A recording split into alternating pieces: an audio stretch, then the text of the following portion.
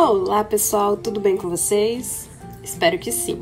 Bom, o vídeo de hoje vai ser para mostrar para vocês como eu faço escova no meu cabelo.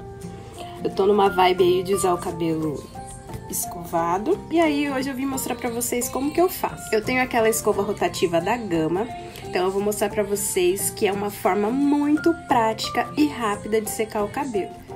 E essa escova ela veio numa hora boa para mim, porque agora eu tô numa vibe de usar o cabelo alisado, né, escovado. E é muito mais prático, né? Porque antigamente era uma sofrência para fazer escova no cabelo e eu demorava praticamente umas 3 horas para alisar o meu cabelo. Sendo que com essa escova eu faço assim rapidinho.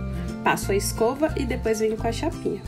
Se vocês quiserem resenha dessa escova, comenta aqui embaixo no vídeo que eu trago é, um vídeo falando sobre essa escova rotativa e os produtinhos que eu tenho aqui, os equipamentos que eu tenho para fazer escova, chapinha, para deixar o cabelo bem lisinho.